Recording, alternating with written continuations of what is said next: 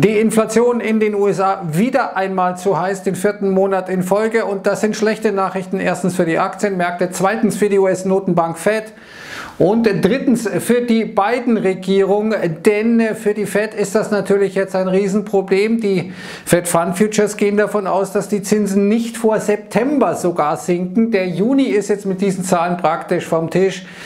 Das ist wiederum eine schlechte Nachricht für die beiden Regierungen, die sich ja erhofft und gewünscht hatte, dass die Zinsen sinken und die Aktienmärkte müssen ihre Erwartungen auf den St. Nimmerleinstag äh, verschieben, dass Geld wieder billiger wird. Schon im Jahr 2022 haben die Aktienmärkte Zwischenrallies gemacht oder Rallies veranstaltet in der Erwartung, dass die Zinsen sinken und das Ganze rückt jetzt immer weiter nach hinten. Und eins muss man auch klar sagen, Fed-Chef Paul hat persönlich eine ganze Menge Verantwortung daran, dass die Inflationszahlen höher sind, als äh, sie sein müssten, denn er hat in dieser spektakulären, unheilvollen vollen Pressekonferenz völlig unnötigerweise Zinssenkungen in den Raum gestellt, äh, in der Hoffnung, die Inflation wird schon selber irgendwie fallen. Damit hat er die Animal Spirits der Märkte geweckt, damit die Finanzkonditionen gelockert. Gelockerte Finanzkonditionen schaffen Nachfrage, Nachfrage schaffen Preisdruck. Und so sehen wir jetzt das, was äh, derzeit passiert, nämlich dass die Inflation höher, Inflation höher ist als erwartet. Und wir wollen uns äh, das ganze Desaster in Anführungszeichen mal anschauen, startend eben mit der Zahl, die war in jeder ähm, oder mit äh, den Zahlen hier zur Inflation Vormonat, Vorjahresmonat äh, in der Headline-Zahl wie auch in der äh, Kerninflationszahl Core CPI jeweils 0,1% höher als erwartet. Das klingt jetzt nicht so wahnsinnig viel, dass man sagt, boah, das ist ja ein wahnsinniger Schub, aber gucken Sie sich mal die Erwartungen vor allem der Märkte an, respektive der Banken im Vorfeld. Keiner hat erwartet äh, eine Inflation von 0,4% äh, höchstens die Citigroup 0,38% aber absolut am oberen Ende der Erwartungen. Keiner hat erwartet 3,5% zum Vorjahresmonat. Keiner hat erwartet, dass die Core CPI, also die Kerninflation zum Vormonat 0,4% steigen würde. Und keiner hat erwartet, dass wir ähm, in der Kerninflation einen Wert von 3,8 Prozent erreichen zum Vorjahresmonat, mit Ausnahme der Citigroup, also vielleicht noch die Citigroup, die da am besten gelegen äh, war. Alle anderen hatten das komplett anders gesehen. Und äh, vor allem auch Tom Lee von Fundstrat, der gesagt hat, also die Märkte werden nach den Zahlen Party machen, denn die Inflation dürfte niedriger reinkommen als erwartet. Es ist äh, gewissermaßen ein äh, Key-Test, äh, wie hier diese Headline lautet, ob die heiße Inflation die Rate Cut Hopes killen wird, also die Zinssenkungshoffnungen killen wird. Und wichtig eben auch die Reaktion der zehnjährigen Anleihe, zu der kommen wir gleich. Aber schauen wir uns zunächst mal diese Komponenten an bei der US-Inflation. Da sehen wir, vor allem der Bereich Energie und der Bereich Shelter, also Unterkunft im weitesten Sinne, hat hier getrieben, während äh, vor allem Gebrauchtwagen und Neuwagen äh, von der Inflation etwas abgezogen haben. Aber wir sehen zum Beispiel Transportation Services plus 1,5 Prozent zum Vormonat. Wir sehen äh, Benzin, Gasoline plus 1,7 Prozent zum Vormonat. Energy Commodities plus 1,5 Prozent zum Vormonat. Also das waren die großen hm, Treiber. Elektrizität plus 0,9 Prozent zum zum Vormonat. Also ähm, es gibt ein paar Komponenten, die äh, disinflationär ähm, gewirkt haben, wie zum Beispiel Gebrauchtwagenpreise. Man denke da an Tesla Gebrauchtwagenpreise, die ja, da musste ja schon sehr lange in den Abgrund schauen, um die überhaupt noch ermitteln zu können, möchte man äh, sagen. Aber jedenfalls, das ist das Picture und vor allem, und das ist das, was die Fed besonders interessieren wird, Supercore comes in red hot. Supercore, das ist die Inflation in den USA aus dem Dienstleistungssektor der ja sehr viel größer ist als der Gütersektor, ähm, ohne die Komponente Housing, also ohne den ganzen Bereich Miete, Unterkunft und was auch immer. Und hier sehen wir, es ging deutlich, deutlich nach oben. Ein äh, klarer Trend, der sich hier wieder zeigt und das Ganze in jeder Unterkomponente. Es gab keine einzige Subkomponente hier bei der Supercore-Inflation, die in irgendeiner Form gefallen wäre. Und wenn wir uns mal den drei Monats annualisierten Durchschnitt anschauen, dann ist der jetzt wieder bei 8,7 Prozent. Äh, wir sehen also, dass wir wieder in Dimensionen unterwegs war, sind, äh, in denen wir zuletzt im Sommer 2023 unterwegs waren. Also da ist von einer Abkühlung der Inflation wenig zu spüren und das Ganze nicht ohne Ansage. Erstens wegen den gestiegenen Benzinpreisen und der Ölpreisen in den USA. Zweitens, weil vor allem der äh, Bereich Manufacturing äh, sich erholt. Hier hatte ich heute Morgen Global Manufacturing und wir sehen, das ist oft äh, ein Vorlauf äh, für die US-Inflation, auch die Non-Farm Payrolls, die neuen Stellen in den USA. Also Manches hat schon darauf hingedeutet, dass wir eher auf der heißeren Seite reinkommen könnten bei der Inflation. Das gilt vor allem auch für die morgigen Erzeugerpreise, denn Firmen sind ja viel stärker betroffen vom Anstieg der Energiekosten, weil sie in der Regel Transportdinge ähm, äh, ausführen etc. mit Rohstoffen zu tun haben. Das hat ja normalerweise äh, der private Konsument nicht. Äh, also das wird dann morgen auch noch ein Hingucker, auch 14.30 Uhr. Hier sehen wir der vierte Monat in Folge, das CPI eben jetzt heißer war als erwartet.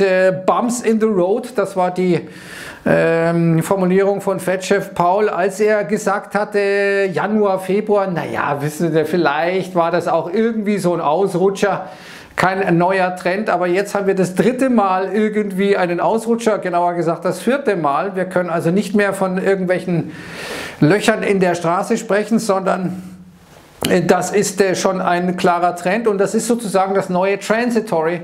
Das neue, die Inflation ist vorübergehend. Auch diesen Fehler hat ja Jerome Paul lange gemacht. Also äh, das ist jetzt im Nachgang natürlich nicht die beste Performance. Hier hatte ja Paul gesagt, ja, und viele andere, Gruppen 6 zum Beispiel, ja, saisonale Faktoren im Januar, dann im Februar auch saisonale Faktoren. Diese Ausrede wird jetzt schwer. Vielleicht kommt Goldman Sachs, sagt, ja, der Januar-Effekt hat sich jetzt bis in den März hineingezogen. Das wäre alles möglich. Wir haben also nicht heute erst, den ersten Miss gesehen, äh, die erste Verfehlung bei der Inflation, sondern genau im Gegenteil. Und hier sehen wir die Rate Cut Odds für Juni.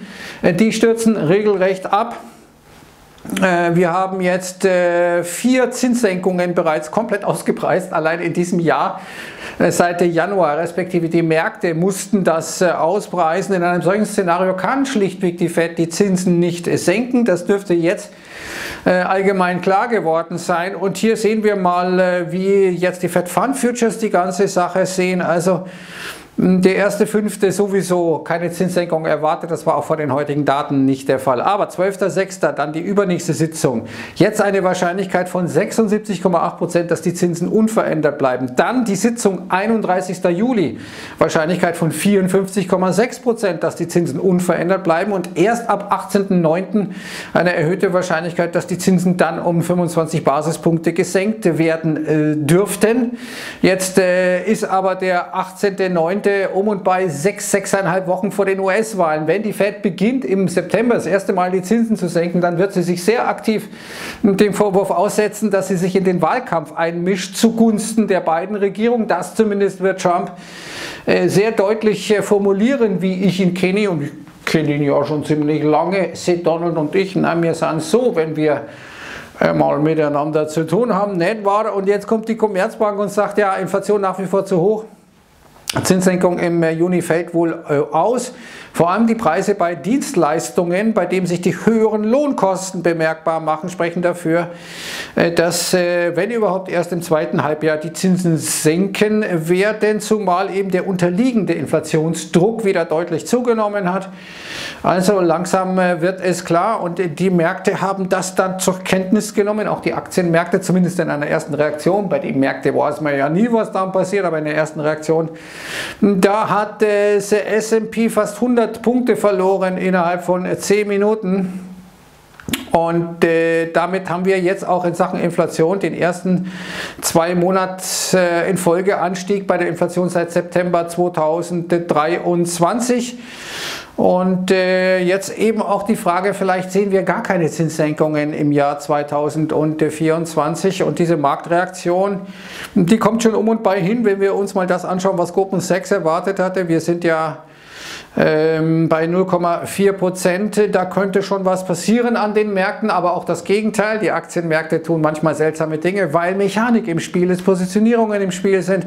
Wir sehen auf jeden Fall, dass die zweijährige Anleiherendite um 16 Basispunkte auf jetzt 4,9 Prozent gestiegen ist, höchster Stand seit November und die zweijährige Anleiherendite, die reflektiert ja deutlich stärker das, was die Fed mit ihrer Zinspolitik macht, als die länger laufenden Anleihen, etwa die zehnjährige, aber auch die ist äh, saftig gestiegen um 14 Basispunkte auf um und bei 4,51 Prozent. Auch das höchster Stand seit äh, November 2023.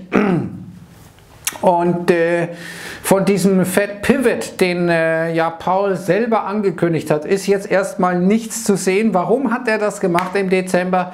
Das ist die große Frage. Dass, er hat sich damit selbst ein Problem geschaffen, nämlich äh, das Inflationsgespenst wieder aus der Flasche zu lassen, das fast schon drin zu sein schien. Aber dann äh, hat er die Gier der Märkte geweckt äh, mit der Folge dann, die wir jetzt kennen. Und einer hat sich heute auch geäußert und gesagt, ja, ja, also die, jetzt müssen die Firmen mal die Preise senken.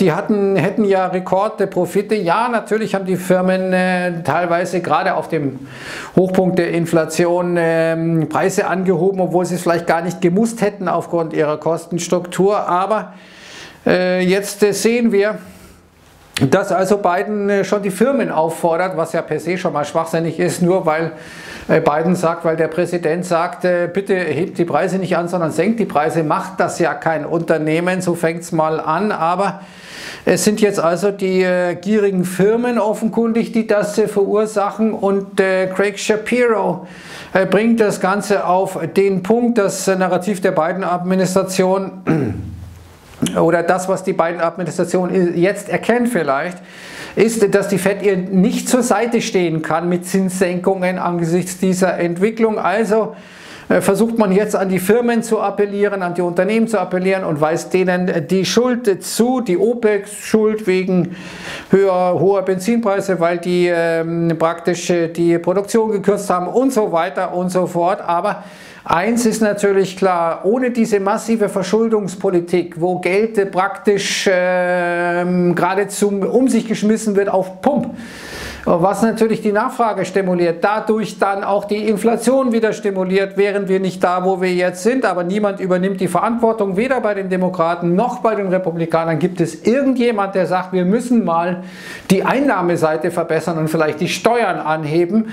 Damit gewinnst du natürlich keine Wahlen, klar, also macht es keiner, also ist nur die Frage, wer wird die Verschuldung noch weiter nach oben treiben, Biden oder Trump. Trump ist ja auch kein ähm, Musterknabe, kein Waisenknabe in dieser Hinsicht. Und äh, das ist eben das Dilemma, äh, dass man eigentlich äh, an die Ursache des Problems überhaupt nicht ran will, nämlich weniger Geld ausgeben, mehr Geld einnehmen, sondern man will weiter Geld ausgeben und möglichst weniger Geld einnehmen. Trump schlägt ja auch eine Senkung der Unternehmenssteuer vor. Und dieser gute Mann, der uns kürzlich noch gesagt hat, wir sind nicht weit von einer Zinssenkung, ist jetzt offenkundig ein bisschen weiter davon entfernt und äh, möglicherweise wird er jetzt ähm, äh, vor dem Problem stehen, Inflation oder Rezession und der wird sich wahrscheinlich für beides entscheiden, nicht absichtlich natürlich, sondern äh, weil ein Unfall passiert und wenn wir nochmal zurückkommen zur beiden Regierung, seit Biden im Amt ist, hatten wir noch keinen einzigen Monat, in dem die Inflation rückläufig war. Wir hatten einen Monat äh, im Juli 2020 2022, als die Inflation unverändert war, also 0,0 Prozent. Jetzt äh, sind äh, die Preise insgesamt um 19 Prozent gestiegen, äh, seit Biden am Start ist. Noch nie waren die Preise höher als derzeit und das bringt die Konsumenten unter Druck.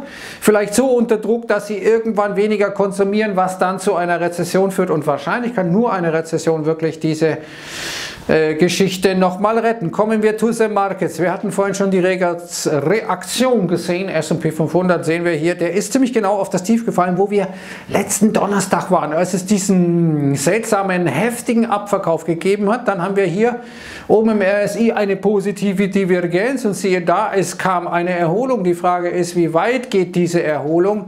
Denn wir sehen Renditen sehr, sehr hoch. Wir sehen Dollar super stark. Der Euro dürfte heute äh, seinen größten Fall seit Juli erleben und der Yen deutlich äh, über 152 gestiegen. Äh, das wird auch die japanische Notenbank nervös machen, die möglicherweise an den Devisenmärkten intervenieren muss. Wenn wir nochmal nach Deutschland kommen, dann sehen wir, warum fällt der Euro? Naja, weil die EZB wird nicht anders können, als die Zinsen zu senken, weil hier die Wirtschaft richtig schwach ist. Und äh, das sehen wir auch äh, beim äh, Institut äh, für Wirtschaft in Halle, für Wirtschaftsforschung Halle, äh, die ja die Zahl der Firmenpleiten respektive Insolvenztrends ermitteln. Höchster Stand ever äh, gab es noch nie. Man hofft, dass das Ganze bald jedoch abflauen wird. Aber auf jeden Fall Insolvenzen en masse. Heute ZF, Scheffler, Bosch, alle streichen Stellen, Schweinfurt bankt um seine Zukunft.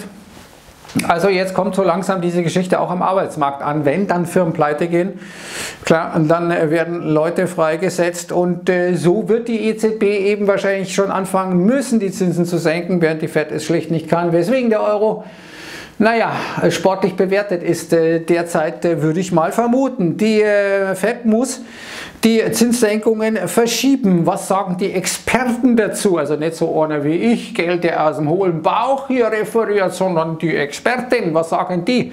Erste Empfehlung, wenn Sie diesen Artikel gut finden, weiterempfehlen bitte über Social Media. Und die zweite Empfehlung, was macht jetzt eigentlich Gold? Ist zunächst auch mal gefallen auf die Inflationsdaten, hat sich dann aber wieder erholt. Was wird da passieren? Die Mega Rally ist nicht vorbei. Das sagen ähm, äh, andere Experten, nämlich Fondsmanager. Also diese beiden Artikel möchte ich Ihnen empfehlen und sage jetzt Servus, ciao.